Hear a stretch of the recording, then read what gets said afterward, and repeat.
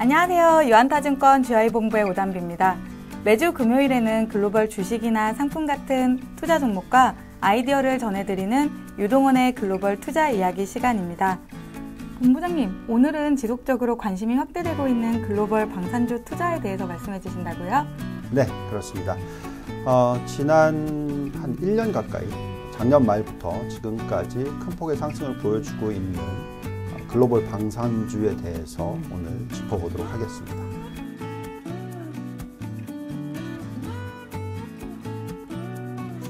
현재 글로벌 군사 배치가 크게 변화하고 있죠. 어떤 변화가 있고 글로벌 군사력의 순위는 어떤가요? 네. 자, 지금 미국의 변화가 크게 나타나고 있습니다. 뭐다 아시겠지만 미국의 자국 우선주의라고 트럼프 대통령이 취임식부터 얘기하고 있습니다. 그래서 모든 결정은 미국의 국익을 위해서 하겠다라는 얘기를 했고요.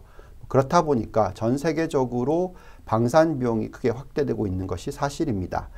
어, 지금 미국이라는 나라가 과거에는 아메리칸 드림의 상징, 어, 그리고 또 글로벌 경찰 역할, 어, 또한 민주주의의 대표 상징이었지만 최근에는 자국주의에 크게 어, 치우치는 그런 상황이 되겠습니다. 자, 그렇다 보니까 음, 상당히 많은 국가들이 어, 신뢰도가 좀 떨어지고 있다. 미국에 대한 신뢰도가 좀 떨어지고 있다. 자, 이런 부분이 당연히 방산비로 표출이 되고 있다라고 생각하시면 될 것 같습니다. 지금 군사력 랭킹을 보시면은요, 어, 여기에 그림 대통령들과 딱 쭉 나와 있죠. 어, 보시면 당연히 1등이 미국입니다. 그리고 그 다음이 러시아, 그 다음이 어, 중국 그리고 인도 이렇게 순위 있고요. 또 일본, 영국, 한국 다 상당히 높은 군사 비용을 쓰고 있는 그런 상황이 되겠습니다.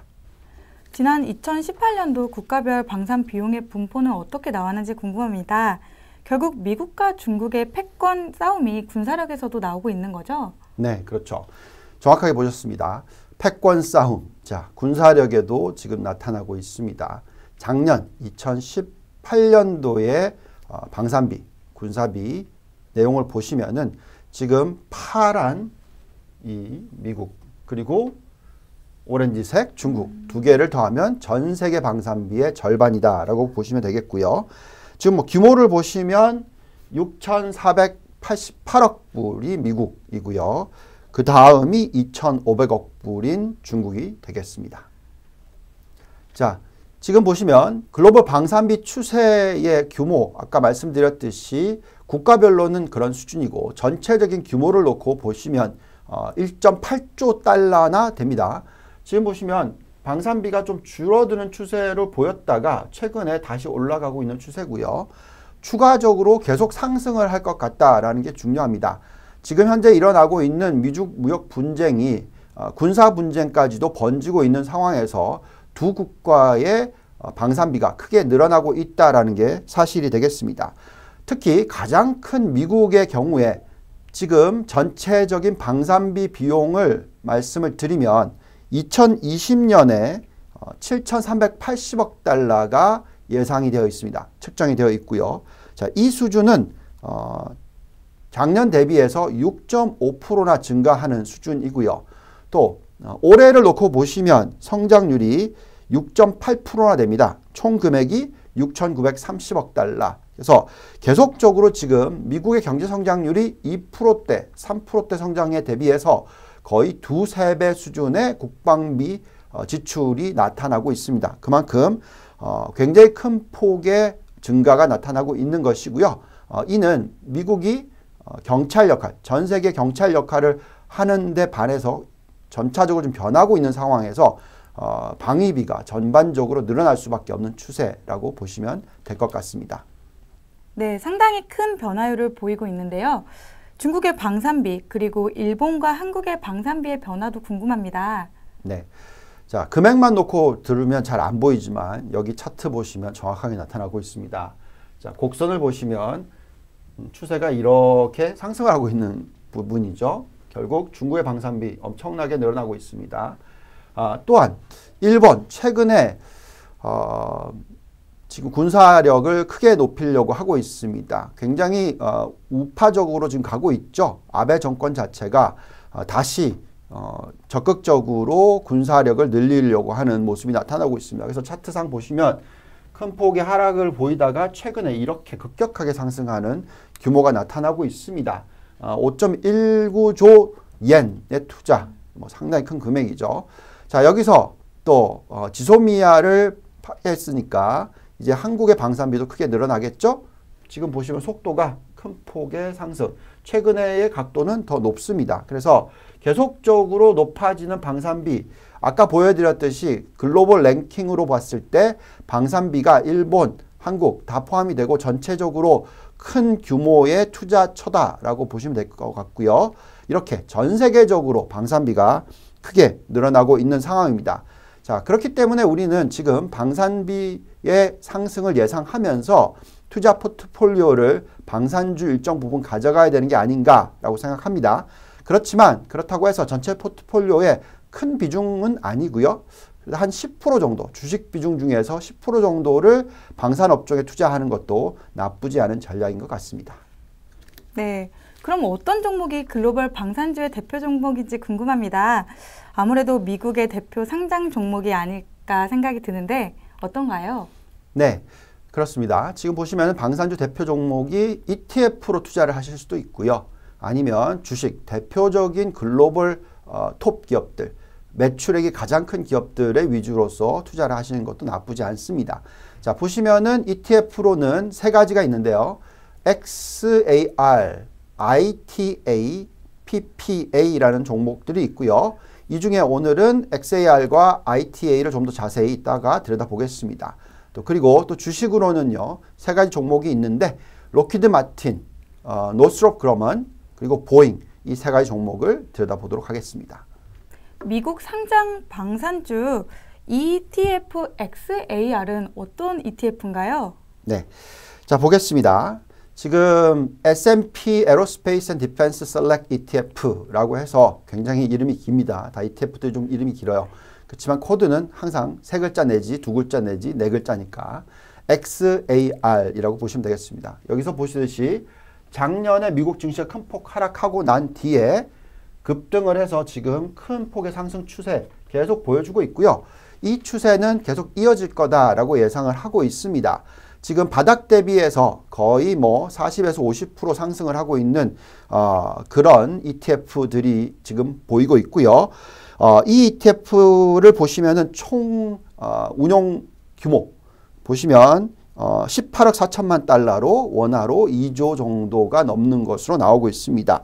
어, 계속적으로 관심을 가질 만한 ETF다라고 말씀을 드리겠습니다. 자, 지금 또 보시면 어, 전반적으로의 이 valuation을 놓고 말씀을 드리겠습니다.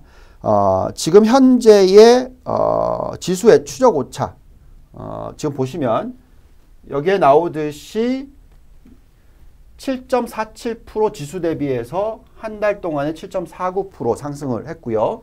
지난 5년으로 놓고 보시더라도 18.51% 대비해서 지수 대비해서 실질적으로 수익률은 18%가 나왔습니다. 그래서 운용 보수를 지불하고도 굉장히 잘 따라간다. 지수를 잘 따라간다라고 보시면 될 것 같고요. 또 산업별 비중을 놓고 보시면 우리가 지금 방산주 테마를 얘기를 하고 있는데 전체의 줄 중에서 69%가 어, 항공우주 방산 관련 쪽이다라고 생각하시면 되겠습니다. 자, 이 안에 대표적인 기업들을 놓고 보시면 이렇게 어, 에 어로켓 에어로제트 로켓다인 홀딩스 4.73. 뭐 대부분 다 4%대, 5%대의 수준입니다. 그래서 우리가 지금 들여다보려고 하고 있는 어, 록히드 마틴, 보시면은 4.12% 가지고 있고요. 어, 노스롭 그루먼은 보시면 4.43% 가지고 있고 록히드 마틴 4.12% 이렇게 어, 우리가 들여다볼 종목들도 들어가 있기 때문에 관심을 가지시면서 들여다볼 필요가 있다 말씀드리겠고요. 어, 그러면 valuation을 좀 보겠습니다. 어, valuation을 놓고 보면 어, valuation과 이익 모멘텀을 보면은 지금 현재 PBR이 4.8배 정도 나오고 있고요. 또 어, 이익 증가율은 27.35%나 되고 또 ROE는 24% 수준 굉장히 높게 나타나고 있습니다. 자, 전형적으로 성장주로 나타나고 있고요. 어, 지금 우리가 돌려보는 잔존가치 모델상의 상승 여력이 약 한 20% 정도 나온다. 20%의 수준이다라고 말씀을 드리겠습니다. 어, 평균 PSR을 도통, 보통 성장주들을 많이 보는데요. 지금 PSR 수준이 한 1.81 정도 되고요. 이 정도 수준이면 상당히 매력이 있는 valuation이다라고 말씀을 드릴 수가 있을 것 같습니다. 전체적으로 XAR 충분히 방산 대표 ETF로서 활용하실 필요가 있다 말씀드리겠습니다. 네. 또 다른 대표적인 ETF죠. ITA ETF도 궁금합니다. 설명 부탁드리겠습니다. 네. 자, 읽어보겠습니다. 다우존스 US Select Aerospace and Defense. 이건 더 길죠. 네, 어쨌든 어, 코드는 세, 자, 세 글자 ITA가 되겠습니다. 똑같이 이 차트에도 나와 있듯이 작년 12월 달 바닥 대비해서 큰 폭의 상승을 보여주고 있고요. 어, 지금 이런 식의 상승 추세가 계속 이어질 거다라고 예상을 하고 있습니다. 근데 어, 만약에 우리가 퓨어 방산 테마로만 투자를 한다면 아까 들여다봤던 XAR보다 ITA가 더 적절하다라고 말씀을 드릴 수가 있을 것 같습니다. 수익률 또한 어, 바닥 대비해서 지금 상승폭이 어, 45.07% 정도 나오고요. 어, 이는 XAR의 54%보다 조금 낮은 수준이다라고 말씀을 드리겠습니다. 지금 보시면 추적 오차를 한번 보겠습니다. 지난 5년 동안의 지수가 17.63%, 어, 실제 가격 상승은 17.12%니까 어, 보수를 빼고도 잘 추정한다 보시면 되겠고 지난 한 달만 놓고 보더라도 큰 오차가 없다라고 말씀을 드리겠습니다. 여기 아까 말씀드렸듯이 항공 우주 방위 비중이 얼마다? 86%나 된다. 아까 69% XAR 대비해서 훨씬 더 높다라고 말씀을 드리겠습니다. 또한 투자 비중을 놓고 보시면 어, 시가총액을 가지고 더 많이 비중을 조절을 하는 그런 ETF가 되겠습니다. 그래서 보잉의 비중이 22.33%나 되고요. 그 다음에 우리가 또 들여다보고 볼 록히드 마틴, 노스롭 그루먼 보시면 어, 7%, 5% 정도가 됩니다. 그래서 이 세 개 종목, 이 세 개 종목만 전체 포트폴리오의 3분의 1이나 된다라고 말씀을 드리겠고요. 어, 충분히 관심을 가지실 필요가 있다라고 말씀을 드리겠습니다. 어, 또한 valuation을 보면은요.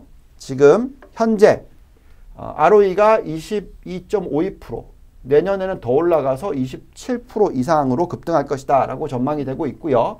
현재 PBR이 5배 정도 되지만 계속적으로 이익이 늘어나니까 큰 폭으로 하락하는 추세가 나올 거다라고 말씀드릴 수가 있겠습니다.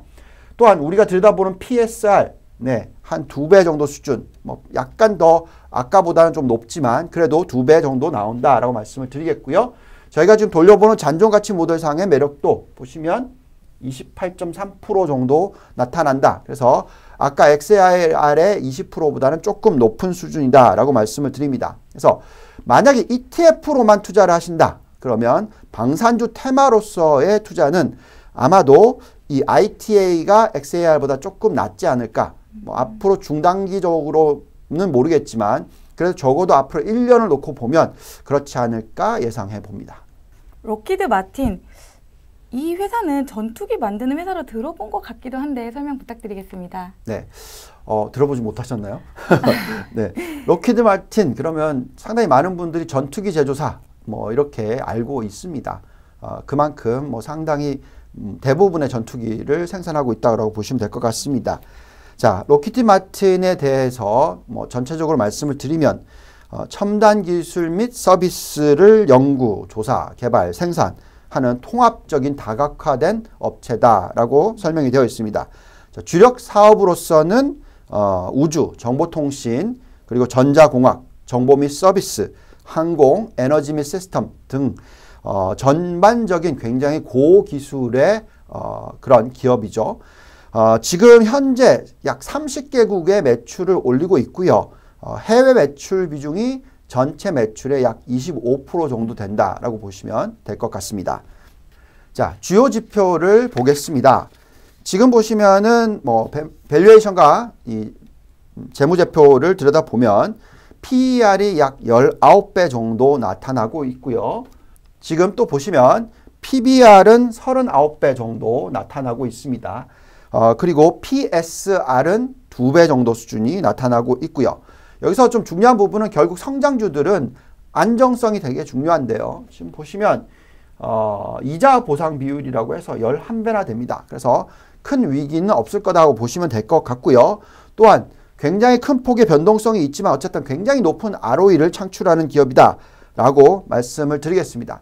근데 일시적으로 하나의 비행기의 단가가 워낙 높다 보니까 만약에 매출이 안 일어나면 이익 변동성은 상당히 높은 기업일 수밖에 없다. 대부분의 방산주들이 그렇다라고 생각하시면 될 것 같습니다. 어, 전체적으로 앞으로의 이익 성장이 크게 기대가 되는 부분이 있다라고 말씀드리겠습니다.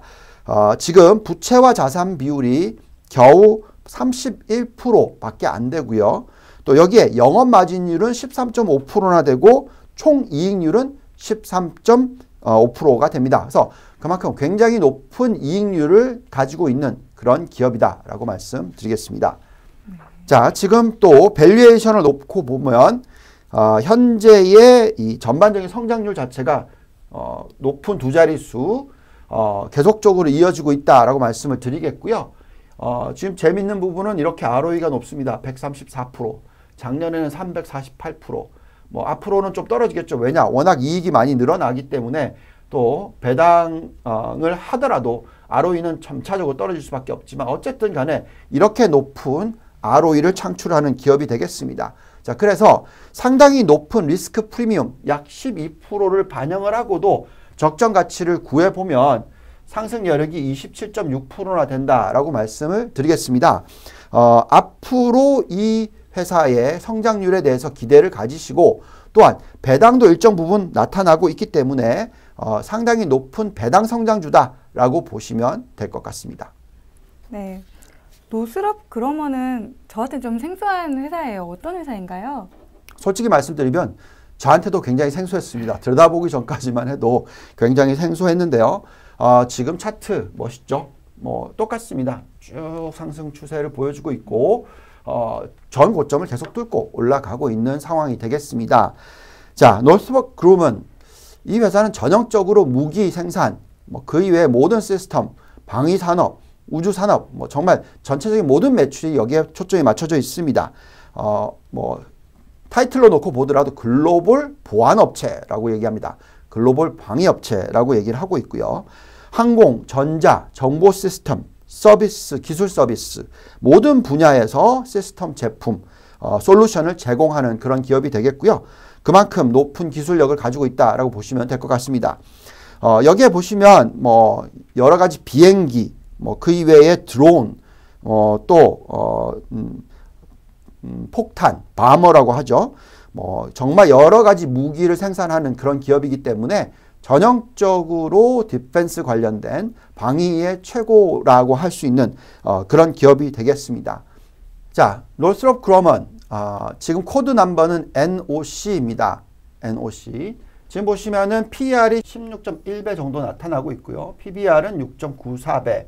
어, 현재의 지금 배당도 굉장히 높게 해주는 상황이고요.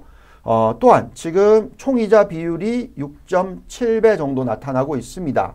어, 전체적으로 안정적이고 성장 속도도 상당히 높은 편이다라고 보시면 되겠습니다. 그래서 전체적으로의 이 매력도가 충분히 있다라고 생각이 들고요. 배당 성향이 25% 정도 되니까 어, 똑같이 성장 배당주다라고 보시면 될 것 같습니다. valuation 상을 놓고 보시면은요. 지금 ROE가 37.87%, 36.88%, 38% 과거 history를 쭉 보시면 아주 안정적으로 30%대, 40%대의 수준을 계속 유지하고 있는 상당히 높은 어, 수익성을 보여주는 그런 기업이 되겠고요. 지금 안정적으로 에로스페이스 시스템, 미션 시스템 상승률을 보여주고 있고요. 뭐 아까도 말씀드렸지만 방산 부분에 있어서 100%의 매출이다라고 보시면 되겠습니다. 그래서 우리가 퓨어 테마로서의 방산주를 투자를 한다. 그랬을 때 음, 아까 보여드렸던 어, ITA, ETF 그리고 또 이 종목으로서 보시면 74%대의 상승 여력이 나타나고 있다라는 게 굉장히 중요할 것 같고요. 어, 그렇기 때문에 이 종목은 우리가 만약에 방산 테마로만 투자를 한다면 꼭 들고 가셔야 되는 종목이 아닐까 한번 생각해 봅니다. 네. 보잉은 모두 다 아는 종목일 것 같아요. 비행기 제조 업체라고 전 세계가 알고 있을 것 같은데 설명 부탁드리겠습니다. 네, 보잉 다 아시죠? 뭐 우리가 타고 다니는 모든 비행기 어, 전 세계에 딱 두개 어, 기업들이 있죠. 보잉과 에어버스. 자, 이 두 개의 어, 기업이 없으면 우리는 비행기를 못 타고 다니겠죠. 어쨌든 지금 보시면은 이 기업이 방산주이기도 합니다. 물론 비행기, commercial 비행기를 더 많이 만들어서 매출 비중에 상당히 많은 부분은 방산하고 상관이 없지만 어, 그래도 상당히 큰 비중의 방산 관련된 매출을 올리고 있는 기업이 되겠습니다. 어, 그 이외에도 어, 우주 관련된 satellite 어, 그리고 뭐 어, 전투기 관련된 부분들 그리고 헬리콥터 등등의 어, 매출을 올리고 있고요. 나사와 긴밀한 관계를 가지고 있는 기업이 당연히 보잉이 되겠습니다. 어, 앞으로도 계속적으로 어, aerospace 어, 그리고 또 방산 어, 그 이외에 commercial 어, vehicle 어, 이 airplane 쪽도 비행기 쪽도 계속 매출을 올릴 거다라는 생각이 들고요. 근데 한 가지 재밌는 부분은 차트가 좀 틀립니다. 다른 종목들이랑 보시면은 큰 폭의 상승을 했다가 급락하고 지금 옆으로 횡보 이렇게 나타나고 있습니다. 자, 그 이유가 뭘까요? 미중 무역 전쟁 이슈 때문에 그렇습니다.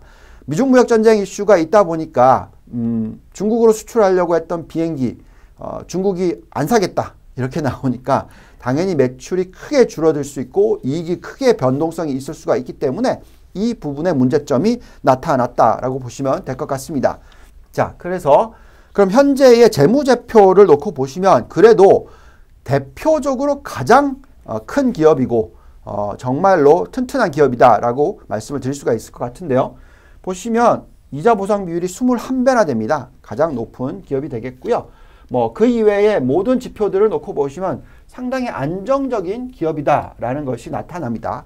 그리고 영업 마진을 놓고 보시더라도 거의 12%대가 지금 나타나고 있어서 어, 이게 변동성이 있기는 하지만 올해 미중 무역 이슈 때문에 그렇지만 계속적으로 관심을 가지셔야 되는 종목이 아닌가라고 판단이 들고요.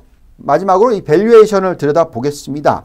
자, valuation을 보시면 ROE가 이렇게 높은 기업입니다. 뭐 150%대. 물론 어, 작년에는 정말 어마무지하죠. 1000%대 ROE. 제가 이거 본 적이 없습니다만 어쨌든 그런 기업이다라고 말씀을 드리겠고요. 어, 지금 중요한 부분은 매출 규모가 전 세계에서 제일 크죠. 어, 이 관련된 부분에 있어서 어, 부동의 1등이다라고 보시면 될 것 같습니다. 잔존가치 모델상의 매력도를 그려보면 12%의 리스크 프리미엄을 똑같이 반영을 한다 하더라도 33.7%의 상승 여력이 나타난다라고 보여집니다. 그래서 전 세계 기술력 1위 그리고 전 세계 최대 비행기 어, 생산 규모 그리고 또 방산 관련 매력도를 다 포함시켜서 어, 방산주 테마뿐만이 아니라 향후 이익이 큰 폭으로 상승할 수 있는 마이너스 70% 이게 미중 무역 전쟁 여, 어, 여파고요.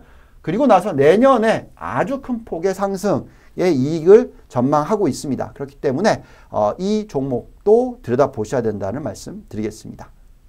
네, 지금까지 유한타증권 GI본부의 유동원 본부장님이었습니다. 오늘도 좋은 말씀 감사합니다. 네, 감사합니다.